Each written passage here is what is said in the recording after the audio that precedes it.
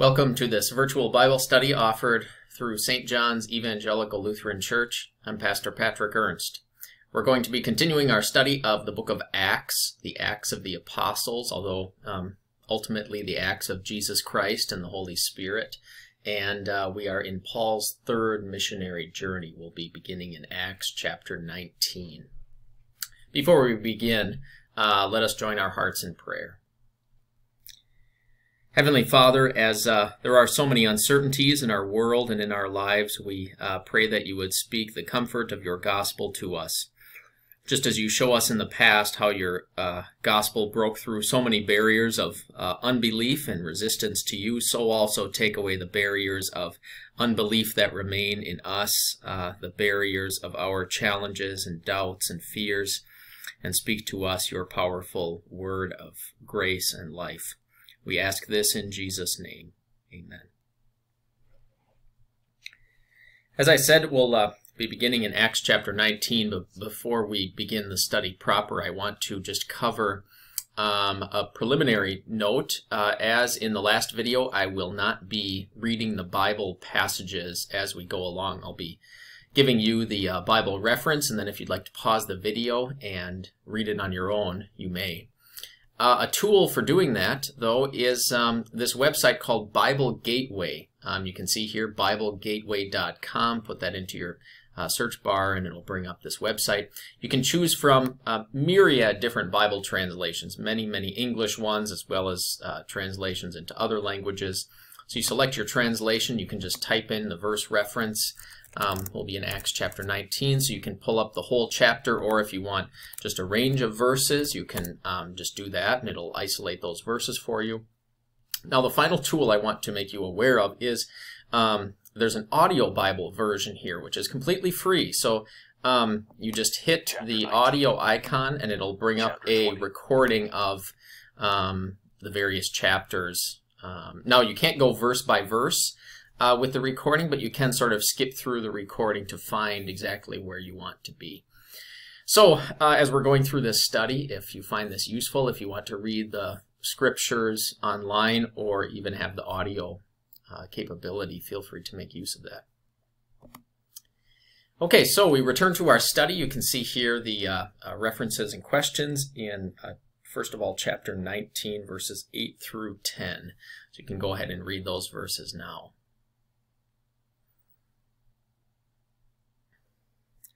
A bit of review first on Paul's third missionary journey.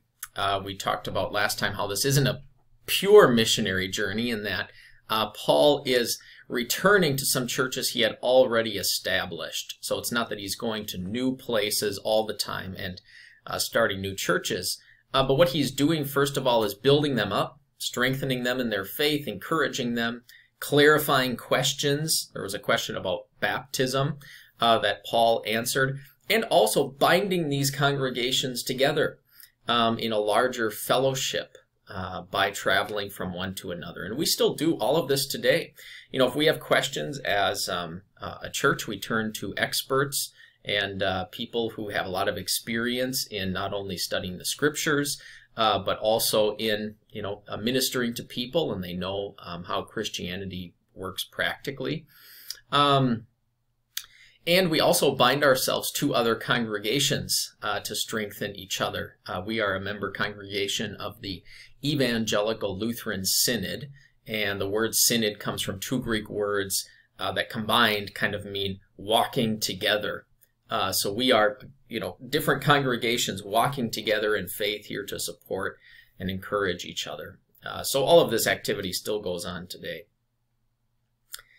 Okay, so the first question uh, regarding these verses is um, what name is used for Christianity here? Um, did you notice there's kind of an interesting name used for the Christian faith? And that name is the Way. The Way is an early name for Christianity, possibly originating from John chapter 14, where Jesus says, I am the way and the truth and the life. So the way is first of all a reference to Christ. We could also apply it and say, yeah, Christianity is the way to eternal life. It's the way to heaven. Jesus is the way to the Father. to the true God. Um, also, as far as our Christian living goes, Christianity is the way that we live our lives. Um, it's the right way as opposed to the many different wrong ways, the ways that we can be misled. Um, this term for Christianity is only found in the book of Acts, interestingly, but it's used quite common in this book, or quite uh, frequently in this book, and it appears as if this was a, a commonly known title for Christianity. In chapter 24, Paul uses this term, the way, to refer to the Christian faith when he's talking to a Roman governor. So obviously, even the Romans uh, heard about the way, uh, referring to the Christian movement. Question two How long did Paul stay in Ephesus, and how did the word spread in that time? So we're told here that um, what he was doing, um, teaching, continued for two years. Uh, we learn later that it was actually more like three, but from this point on, you know, it was two years that he continued teaching. And the word spread by going out from the city of Ephesus, kind of a central um, city, uh, into the surrounding region. It says all the residents of Asia um, heard the word of the Lord, both Jews and Greeks. So from this central kind of crossroads, um, trading post, important city, yeah, things spread out, and that's a movement that we see in other places too. Okay, now we're going to jump ahead um, over some events that take place in the city of Ephesus. Feel free to read those if you'd like. We're going to go to the beginning of chapter 20.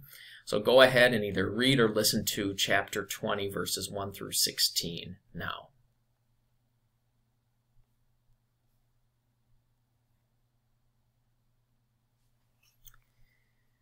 All right, at the beginning of chapter 20, we have a difference in a person that's referenced in the uh, in the narrative. Okay, we go from third person, the author of this book referring to um, he, they, to first person plural, talking about we and us. Now, important uh, to answer this next question. Who isn't named, uh, but seems to join up with Paul again in Macedonia? Well, the clue there is the change in person. It goes from they and he to we and us. So obviously the person relaying this history seems to join up with Paul. And that person we know is Luke. Luke, who wrote the gospel, is the one who also writes the book of Acts. And with this change in person, he's indicating that he has now joined the, the entourage of Paul. Okay, going to verse 7. What custom of worship is already in place this early on in the Christian church? And actually, there's more than one. So take a look at verse or chapter 20, verse 7, and, and think to yourself what uh, custom of worship that we have today is already in place here. The main one I would like to point out is on the first day of the week, the Christians meet. That means Sunday. This early in the Christian church, Sunday is set aside as the main day when Christians meet. And of course, even though Christians meet on uh, different days of the week, um, Sunday is, is the main one. Although a couple other customs we could pick out is first of all, uh, they gather together to break bread, which uh, probably refers first to a fellowship meal, uh, which we of course still do, but then kind of by extension, uh, the Lord's Supper. Finally, it says that Paul prolonged his speech until midnight. So we have a Sunday service with fellowship, the Lord's Supper, and preaching. So already, kind of this core um, framework of Christian worship is uh, in place, one that we still find today. All right, um, what's your reaction to Eutychus, um, or Eutychus, uh, dying and coming back to life? So this young man is listening to um, Paul preach as Paul's kind of going on and on. It's getting late. Um, Eutychus falls out of a window that he's, you know, sitting in and dies. And then Paul goes and brings him back to life. So what's your reaction to um, that story? If you want to pause and discuss it with whoever you're studying with or just to think about it, go ahead and do so.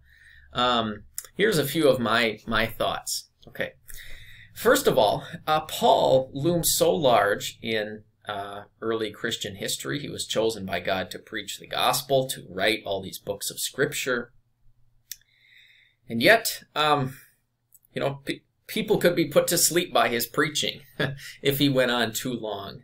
Um, so first of all, we should recognize uh, that um, uh, there are barriers to God's word found first of all in the preacher, which I can definitely identify with. You know, I, I don't perfectly get out of the way and let God's word work, but I always have some of my own boring self and, you know, inefficient talking patterns that uh, make people want to fall asleep when I preach. But um, there's also the element in the hearer.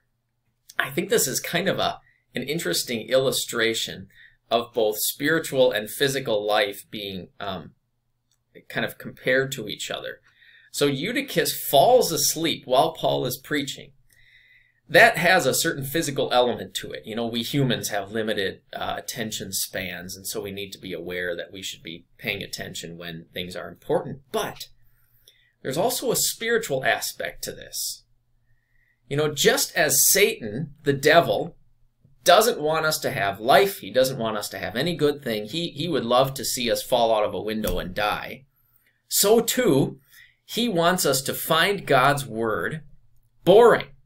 He wants us to think it's it's the thing that just makes us fall asleep and uh, yeah, the preacher just drones on and on because that means God isn't able to do his work on us if we're not really listening to his word. So uh, just as Eutychus, you know, in his human weakness, you know, not that he was like sinning by falling asleep. I mean, it got late. Uh, but just as Eutychus, you know, sort of drifted off and wasn't hearing Paul anymore, um, and that inclination in humans can really cause spiritual death. So too, he actually then just falls out of the window and uh, physically is killed and then brought back to life.